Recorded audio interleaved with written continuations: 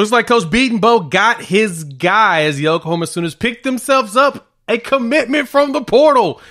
Big old Spencer Brown, the 6'6, 310 offensive tackle from Michigan State, commits to the Sooners. Let's dive into him talk about what he means to this offensive line and uh, all of that jazz. Before we do that, welcome to Unfair Sports. I'm your host, Jay. Thank y'all for pulling up to the channel. Hey, we've been seeing some growth, so thank y'all for pulling up, especially all the new people. We talk a lot of OU football and college football in general, and we, of course, have a great time doing it. And so we're glad that you're here to uh, join us in this family. So let's dive into Spencer Brown, big man out of Michigan State, coming to Oklahoma out of the transfer portal. This video is probably going to be pretty quick. We got another news video coming out tomorrow to talk about everything else going on in OU football, but I think this one deserves its own separate one because we got our first transfer commitment, right? And this one's a big one, and let me explain why. So you got big old Spencer Brown here, as I mentioned, six six 310. Honestly, he wasn't a very highly touted uh, player out of high school. I mean, he was considered a, you know, composite consensus three star, but he came into college football and was cooking. He's had uh, over 30 career starts, career games at Michigan, but over 20 starts, 870 career pass blocking snaps. Only allowed eight snaps out of that and eight hits and 32 hurries. And so he does very well out there at the tackle position, right tackle natively. He was ranked number nine on On Three's uh, com- list of uh, of players in the transfer portal. It's open. Oh, he's one of those players that can ball. He's got a year left of eligibility. And honestly, when I saw that 6'6, 310 frame and saw him just how big of a person as he is, I was like, okay, who's he remind me of? It's pretty easy.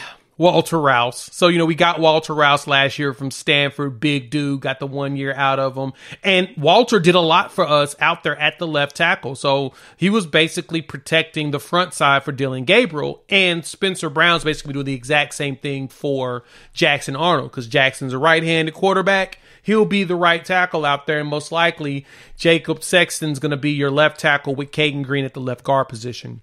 And so the way the line is lined up for Oklahoma next season, it's going to be nice. We'll have a veteran presence on the edge.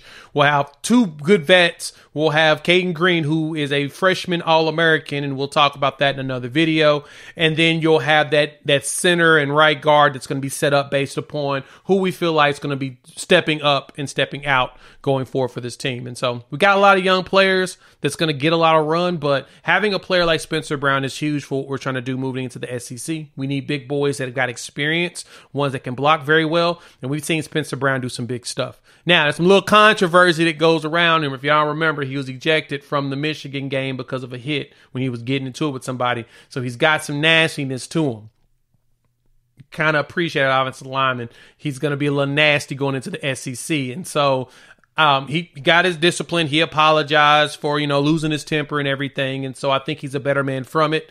The good thing is, is Coach Beaton Bedenbaugh's going after the players that he wants. I had mentioned this before when it came to the offensive line recruiting that Bedenbaugh has a particular type that he likes, and if he doesn't see it in the class, he starts to shop around. And the good thing is, because we've got the transfer portal, you're going to start seeing a lot of these top tier offensive linemen or the ones that have been under evaluated step up and get better grades and end up, you know, at bigger programs because of their ability to actually play.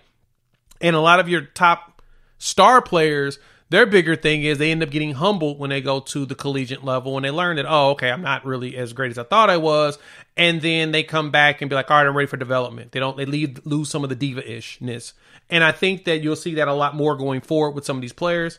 I love the fact that Spencer decided after going in the portal, I believe Bedenbaugh went up to town, saw him, basically sealed the deal while he was there, most likely, because Bedenbaugh looked at him and said, look, look what I did for with Walter Rouse. Look at Tyler Guyton, who's going to be a first round draft pick, late first round, easily.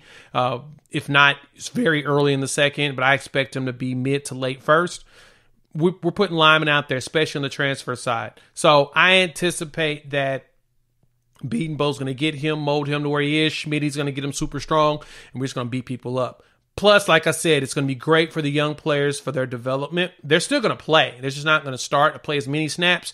But as they get their snap count up being young, boy, the future's bright going right into the SEC next season. So We're looking at Spencer Brown. Hop in the comments. Let your boy know what's your thoughts. How you feel about Oklahoma's latest pickup. Got us a big boy coming out of the portal. Y'all know I'm jazzed up, excited about this size 6'6, 310. Walter Rouse came in at 6'6, 325. So we got us another big boy out there on the bookends. You made it this far, you like the content, hit the like button. If you're new to the channel, subscribe. Love for you join this family of college football fans. Talk a lot of OU football and college football in general. We'll be increasing it like crazy because the portal is jumping, jumping over the last few days. So you'll see a news video from me about Oklahoma come out tomorrow. But uh, yeah, talk to me in the comments. Check out one of the next videos here that YouTube recommends. We'll chop it up soon. Peace.